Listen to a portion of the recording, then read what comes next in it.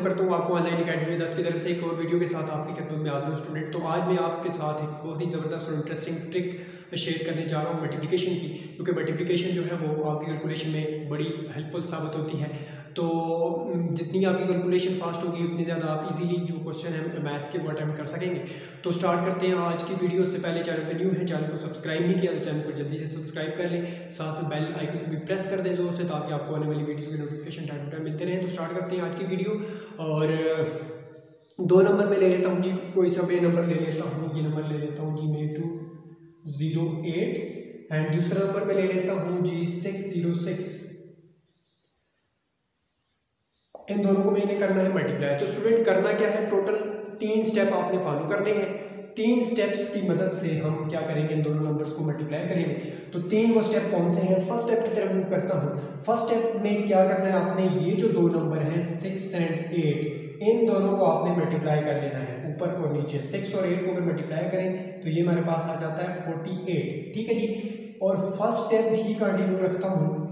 तो इसमें इन दोनों नंबर्स को भी आपने क्या कर लेना मल्टीप्लाई कर लेना है। सिक्स और टू को अगर मल्टीप्लाई करें तो ये हमारे पास आ जाता है ट्वेल्व इसको आपने इस तरह लिख लेना है। ये था जी हमारा फ़र्स्ट स्टेप फ़र्स्ट स्टेप समझिए स्टूडेंट क्या करना है? इन दोनों नंबर्स को आपस में मल्टीप्लाई कर देना और इधर लिख देना और इन दोनों नंबर्स को मल्टीप्लाई करके इधर लिख लेना। ठीक है फ़र्स्ट स्टेप हो गया कंप्लीट अब हम चलते हैं इसके सेकेंड स्टेप की तरफ़। सेकेंड स्टेप क्या है? सेकेंड स्टेप में आपने क्रॉस में मल्टीप्लिकेशन करनी है। सिक्स और टू को आपस में मल्टीप्लाई करना है, ये सिक्स है और ये टू है। इन दोनों को अगर मल्टीप्लाई करें तो सिक्स टू सर हमारे पास क्या जाता है? ट्वेल्व आ जाता है। एंड सिमिलरली सेकेंड स्टेप को आगे मूव करें तो ये सिक्स और एट अगर आपस में मल्टीप्लाई हो जाए क्रॉस में तो ये हमारे पास हो जाता है फोर्टी एट ठीक है?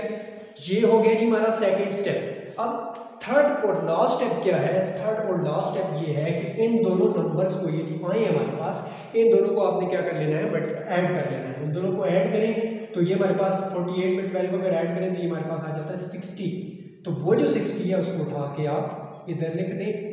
डेट इज़ योर आंसर ठीक है? तो ये है जी आपका आपकी ट्रिक जो कि मैंने आपके साथ शेयर करनी थी। होप्स हो गया आपको ये ट्रिक आ, अच्छी लगी होगी। और आपके लिए आपकी कैलकुलेशन में ये हेल्पफुल साबित होगी। तो जनाब, इस तरह के मज़ीद जो नंबर हैं, वो आपने कैलकुलेट करने हैं और चेक करके मुझे कमेंट सेक्शन में बताना है कि ये ट्रिक बाकी नंबर्स पे वैलिड है कि नहीं है।